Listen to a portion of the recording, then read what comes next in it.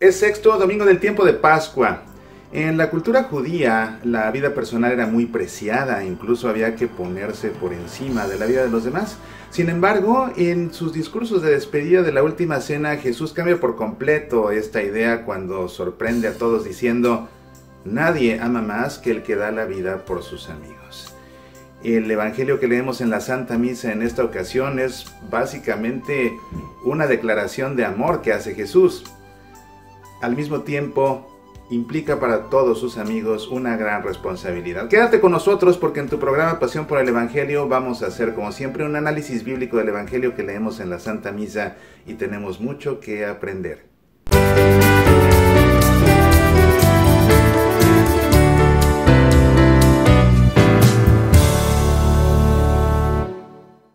Es el sexto domingo de Pascua en este ciclo litúrgico y en esta ocasión continuamos leyendo el Evangelio según San Juan, donde nos quedamos la vez anterior. Recuerda que en el quinto domingo de este tiempo de Pascua leímos el discurso de despedida en el que Jesús hace la analogía entre la vid y los sarmientos y pues Él que es la vid y nosotros que somos los sarmientos y que si permanecemos unidos a Él habremos de dar mucho fruto. Y ahora continuamos justamente donde Jesús se quedó, donde lo dejamos en esa ocasión. Continúa con el discurso. Es un discurso que tiene dos partes. Hoy nos ocupamos de la segunda. Así que te propongo que leamos el texto para después hacer nuestro análisis bíblico y concluir como siempre hacemos con un momento de oración. Te invito a que antes que otra cosa nos pongamos en presencia del Padre y del Hijo y del Espíritu Santo. Amén. El Evangelio en esta ocasión dice lo siguiente. Durante la última cena Jesús dijo a sus discípulos, Como el Padre me amó, también yo los he amado a ustedes. Permanezcan en mi amor. Si cumplen mis mandamientos, permanecerán en mi amor. Como yo cumplí los mandamientos de mi Padre y permanezco en su amor.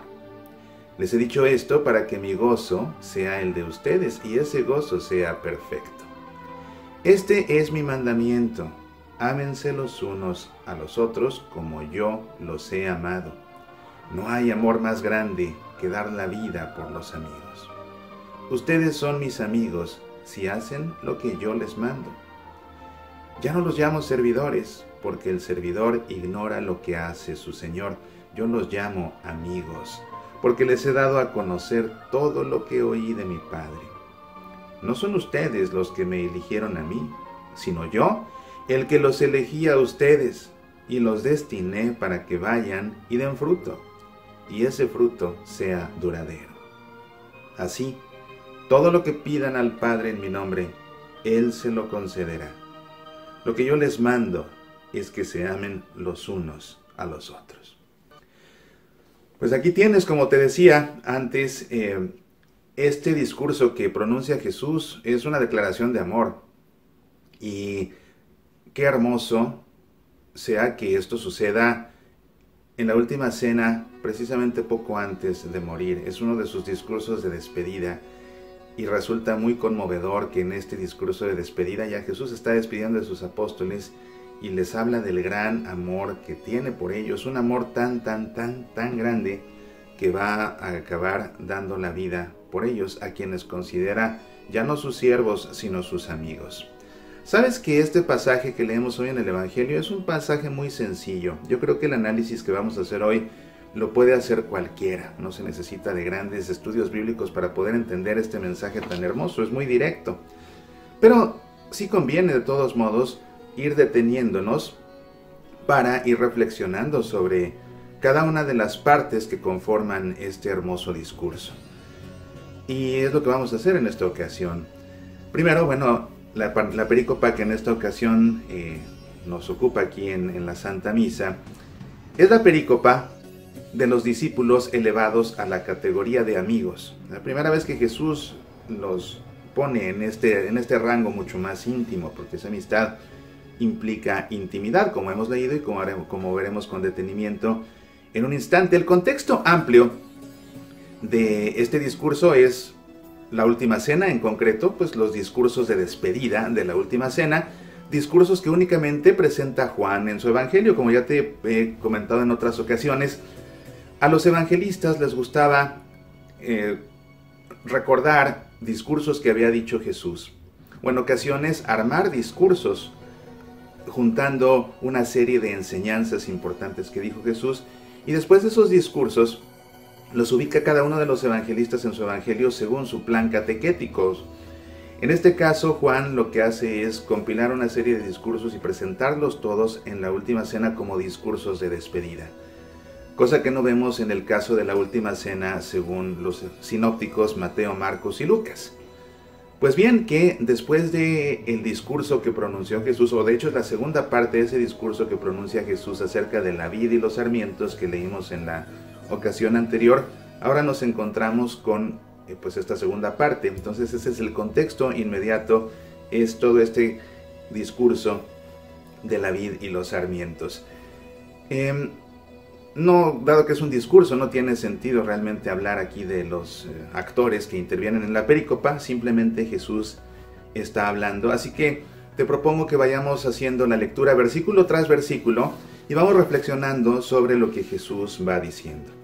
Aquí en tu misal al principio dice, durante la última cena Jesús dijo a sus discípulos, cuando tú lees el Evangelio según San Juan, esa línea no aparece, ya sabemos que Jesús está en la última cena, y además, bueno, pues es la continuación del discurso anterior, así que esta línea simplemente se agrega en el misal para dar contexto y que nosotros nos ubiquemos. Ahora, ¿por qué estamos remontándonos a la última cena si estamos en tiempo de Pascua? El tiempo de Pascua es para reflexionar en Jesús después de su resurrección. Entonces, ¿por qué es que nos remontamos a la última cena? Bueno, lo que sucede es que estos discursos que da Jesús son discursos con enseñanzas para ser aplicadas precisamente después de que Él se vaya son aplicaciones o son enseñanzas que tienen que ser vividas por la iglesia naciente.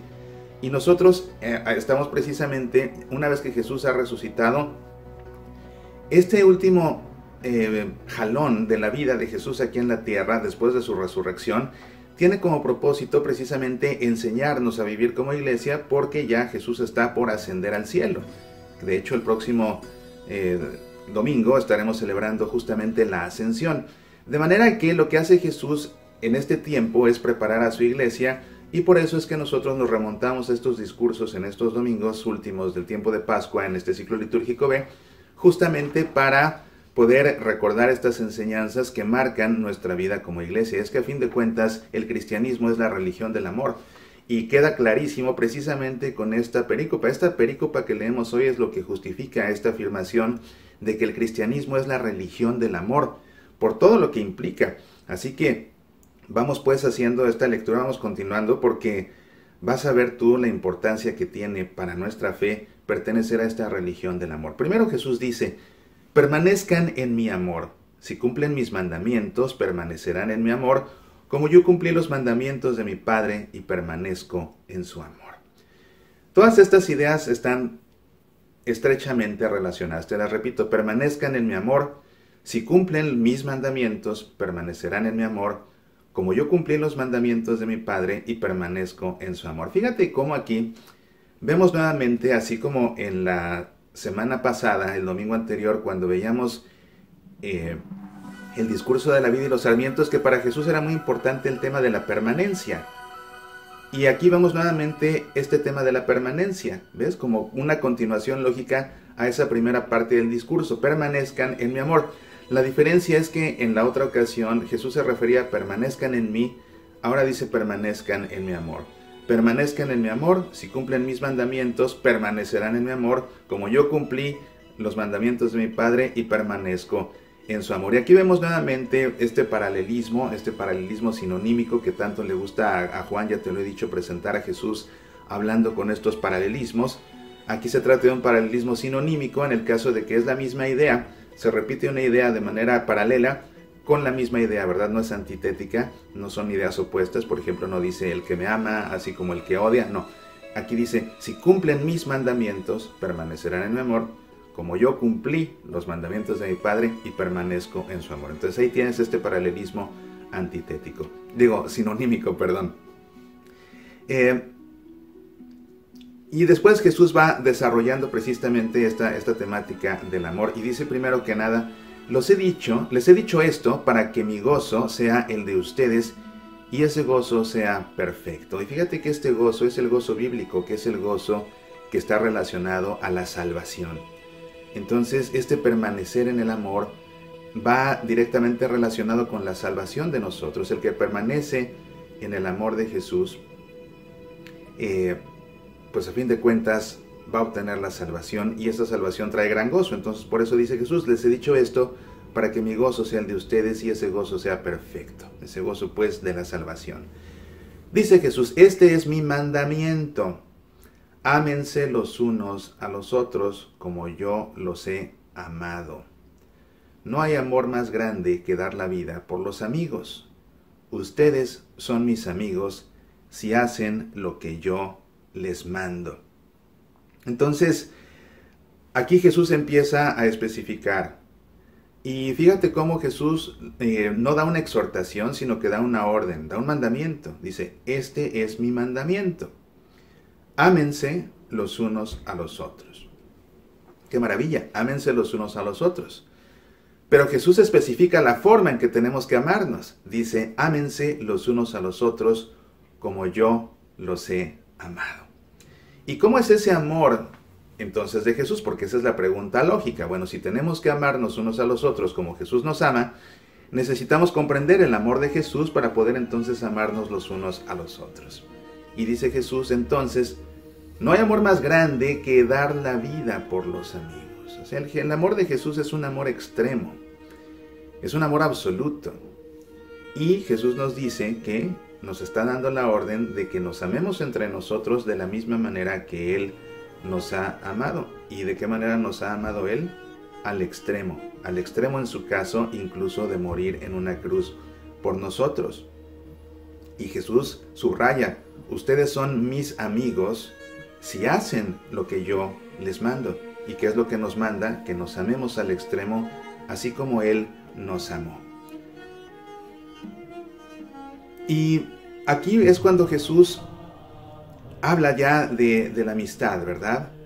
Ustedes son mis amigos si hacen lo que yo les mando. Y fíjate cómo esta amistad está fuertemente conectada al amor. Y de hecho, pues así es. Amistad, amor tienen la misma raíz. No puede haber amistad si no hay amor. Así de simple. No puede haber amistad si no hay amor. Los amigos tienen que amarse, los verdaderos amigos se aman profundamente. Y Jesús en este caso nos está haciendo sus amigos, nos considera ya sus amigos, eleva a los discípulos de categoría porque ya no serán siervos y ahora lo va a decir en un momento, pero precisamente la razón de que estos no sean ya sus siervos, sino sus amigos, es el gran amor que tiene Jesús por ellos. Un amor tan grande que va a ser, a fin de cuentas, extremo. Y dice Jesús, ya no los llamo servidores porque el servidor ignora lo que hace su Señor. Yo los llamo amigos porque les he dado a conocer todo lo que oí de mi Padre. Es por este versículo que esta pericopa se ha dado en llamar la pericopa de los discípulos elevados a la categoría de amigos. Y aquí vemos una característica de esta amistad. Por supuesto, es una amistad que brota del amor. No hay amistad si no hay amor. Pero aquí la característica importante de esta amistad es la intimidad, porque dice Jesús, yo ya no los llamo servidores, porque el servidor ignora lo que hace su Señor. Yo los llamo amigos porque les he dado a conocer todo lo que oí de mi Padre. O sea, fíjate, aquí este, este este superlativo, este todo, les he dado a conocer todo lo que oí de mi Padre. Entonces, Jesús decía antes, el que me ve a mí, ve a mi Padre. Con esto Jesús deja más que claro que nos ha revelado todo lo que tenemos que saber del Padre, todo y nada más. En Jesús encontramos la revelación completa. Nadie más va a venir a completar esa revelación, nadie puede venir a agregarle nada a esa revelación de Dios eh, por muy evidente que se sienta o que se declare o lo que sea, nadie, nadie más podría jamás ya revelarnos más acerca del Padre que lo que Jesús mismo nos ha revelado. Les he dado a conocer todo lo que oí de mi Padre. Ahora, eso que Jesús oyó de su Padre, al compartirlo con nosotros, está precisamente sugiriendo ese grado de intimidad que no se puede tener más que con un amigo. Es con los amigos y sobre todo con los amigos más entrañables con quienes podemos realmente abrir el corazón. Es a nuestros amigos más queridos a quienes les revelamos nuestros secretos más profundos. Es, eh, son, son nuestros amigos los que realmente saben más de nosotros que nadie más allá afuera. Y al revés también sucede lo mismo. Nosotros sabemos más acerca de nuestros verdaderos amigos que lo que sabe el resto de las personas. Nosotros como amigos somos capaces incluso de leer el corazón de nuestros verdaderos amigos porque hemos desarrollado ese grado de intimidad que es muy diferente del grado de intimidad que se puede tener o del grado de conocimiento que se puede tener con personas que simplemente son conocidos. Y hay una diferencia muy muy fuerte y realmente aunque hay personas que son muy amistosas y que hablan de que tienen muchos amigos, lo cierto es que incluso dentro de ese grupo amistoso, hay apenas un puñado de personas que se pueden considerar los verdaderos amigos porque es aquellos con los que se genera la verdadera intimidad y es una intimidad que es posible precisamente por el amor que une esa amistad. Entonces cuando entendemos esto a nivel humano, podemos entender a lo que se está refiriendo Jesús. Este grado de amistad que Jesús tiene con nosotros parte de un amor tan profundo que permite que exista esa intimidad. Ahora, ¿por qué existe esa intimidad en una amistad? No solo porque hay cariño, sino porque hay una tremenda confianza. Una característica total de los verdaderos amigos es que confían por completo el uno, en el otro, confían incluso a ciegas. Un verdadero amigo es incapaz de dudar de su amigo, de lo que le está diciendo, de lo que le manifiesta. Incluso eh, un verdadero amigo es incapaz de dudar del amor que le tiene su amigo. Y así en este caso, en esta intimidad que tenemos con Jesús, pues Jesús por supuesto, fíjate que Él, él como, como amigo nuestro, pues confía en nosotros a ese grado. Y es, esto es un poco irónico porque nosotros a fin de cuentas por nuestra condición humana frágil y pecadora, muchas veces no somos fieles a esta amistad. Y es algo que tenemos que tomar en cuenta porque la amistad depende también en gran medida de la fidelidad, van de la mano.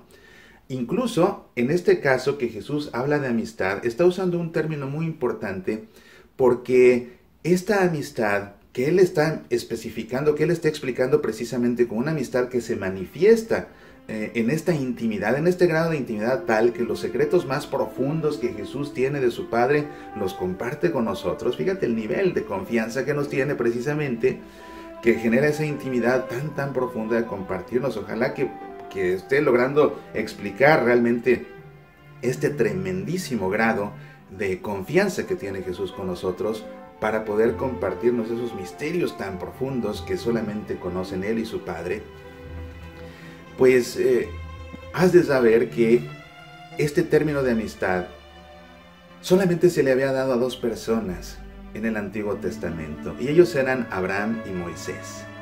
Abraham y Moisés fueron los únicos que fueron considerados amigos de Dios.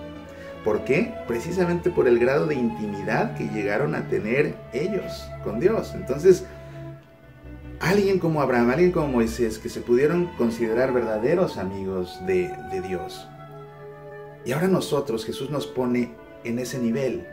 Nunca había habido otros amigos de Dios, sino hasta ahora en la última cena, y esos son los apóstoles. Pero a fin de cuentas, los apóstoles son los iniciadores de esta iglesia que están haciendo. Entonces, por extensión, nosotros al pertenecer a esa iglesia pertenecemos a ese grupo de amigos en los que Jesús confía tanto que por eso desarrolla ese grado de intimidad con nosotros y nos revela los secretos más profundos, pero que nosotros a cambio tenemos que ser eh, recíprocos con Él, ¿verdad? Amarlo en la misma medida, amarlo con confianza, amarlo sin condiciones, amarlo al extremo, así como Él nos ama al extremo. Y mira que estos apóstoles después iban, a pesar de sus primeras traiciones, negaciones, de huir corriendo, de esconderse, más adelante ellos también habrían de demostrar que amaban a Jesús al extremo, dando en su momento la vida también por Él. Maravilloso.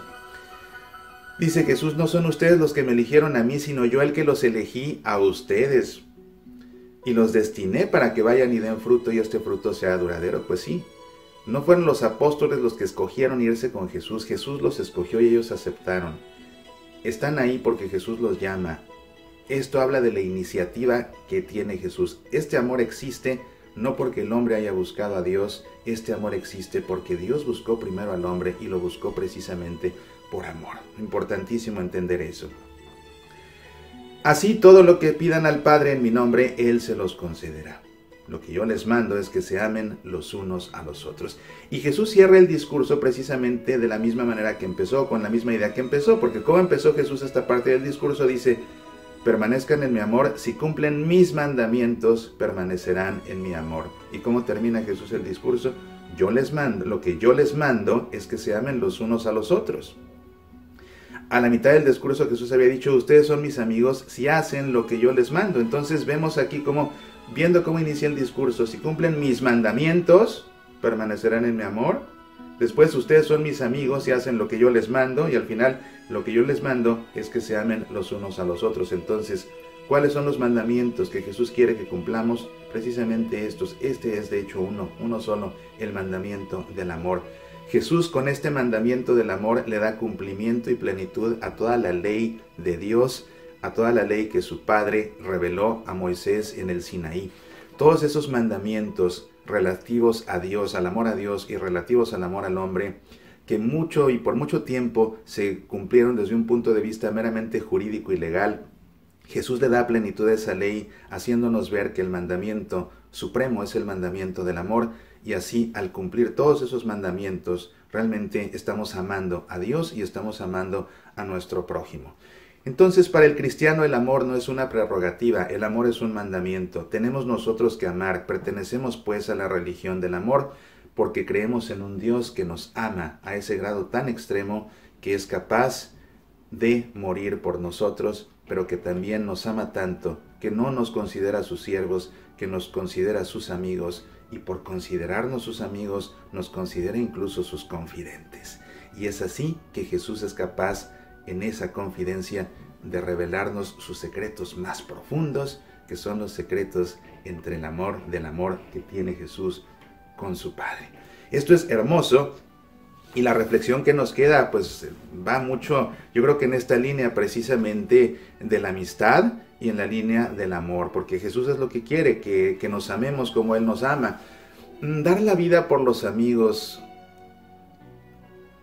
realmente son pocos los que acaban muriendo por un amigo. Sin embargo, vemos cómo en efecto alguien puede dar la vida por un amigo cuando le da su corazón, cuando sin reservas le da su tiempo, cuando siendo necesario le entrega su paciencia, cuando llega el momento de asistirlo, atenderlo, cuidarlo porque está gravemente enfermo y la persona es capaz de dar su vida y de dejarla al lado de su lecho en un hospital. Dar la vida no necesariamente implica morir por el otro, pero sí que implica hacer a un lado nuestra vida, hacer a un lado nuestros intereses, hacer a un lado aquello que importa para nosotros, para darnos entonces a un amigo, sobre todo cuando más lo necesita, que fue lo que hizo Jesús. Jesús vino porque lo necesitábamos y lo necesitábamos para vivir, para poder recuperar la vida eterna que habíamos perdido. Y es así que cuando más lo necesitamos, Jesús vino para morir por nosotros y que así con su muerte y su resurrección podamos recuperar, podamos recuperar esa vida que habíamos perdido. Mucho que hay que reflexionar, se nos queda todo esto de tarea. Piensa tú en tus mejores amigos y piensa si realmente los amas al extremo o no y de ahí tú evalúa quiénes son tus verdaderos amigos y quiénes no. En la medida en que tú los ames, no te pongas a cuestionar cuánto te aman a ti. La tarea es de uno para los demás. Hay que amar a los demás con ese amor extremo con el que Jesús nos ama y que además Jesús nos lo da como una orden y que además dice, si ustedes son mis amigos, en la medida en que ustedes cumplen con mis mandamientos, ¿eh? esa es la condición para ser su amigo, no nada más, no es algo gratuito, es, aquí lo dice Jesús, dice, ustedes son mis amigos si hacen lo que les mando. Y lo que les mando es que se amen unos a otros como yo los he amado. Hay una condición para ser sus amigos, entonces hay una, una condición para estar tan cerca de Él y para ser sus confidentes. Y la condición es precisamente amarnos en la misma medida que Él nos ha amado. Bueno, pues aquí tienes el análisis de esta pericopa del Evangelio. Como te digo, es muy sencilla porque es muy directa, pero creo que deteniéndonos idea por idea, siempre podemos hacer una reflexión más profunda y estoy seguro que este análisis acompañado de la humildad de tu sacerdote en la Santa Misa te ayudarán a comprender mejor la palabra de Dios y a que ésta resuene fuerte en tu corazón para que después haga eco y la proyectes en tu vida. Te invito a que todo esto que hemos reflexionado y aprendido lo guardemos en nuestro corazón y que ahora nosotros nos dirijamos a Dios en un momento de oración. Siempre hacemos. Te invito a que por un instante cierres tus ojos, pongas tu mano sobre tu corazón y en tu interior hagas eco a estas palabras. Permaneceremos en ti, Señor, en las luchas y en las penas, en las alegrías y en los trabajos. Permaneceremos en ti, Señor, con la fe y la esperanza, con la ilusión y la entrega confiada. Permaneceremos en ti, Señor, renovando nuestro bautismo, aumentando nuestra caridad, desarrollando nuestros talentos. Permaneceremos en ti, Señor, ofreciendo nuestra ayuda, saliendo al encuentro de los enfermos, sonriendo al que se encuentre triste. Permaneceremos en ti, Señor, con tu amor y con tu auxilio con tu sombra y con tu poder, con tu palabra y con tu Eucaristía, con tu iglesia y con la oración. Permaneceremos en ti, Señor. Amén. En el nombre del Padre y del Hijo y del Espíritu Santo. Amén. Pues yo he pasado un rato sensacional en tu compañía. Te agradezco tu tiempo para aprender juntos acerca del Evangelio. Recuerda que tenemos una cita el próximo fin de semana para continuar con nuestra serie Pasión por el Evangelio y entre semana podemos seguir conversando a través del programa de radio Semillas para la Vida. Deseo que esta semana Dios derrame abundantes bendiciones sobre ti y te exhorto a que esta semana ames a tus amigos con ese amor apasionado con el que Jesús ama a los suyos. Apasionate por nuestra fe.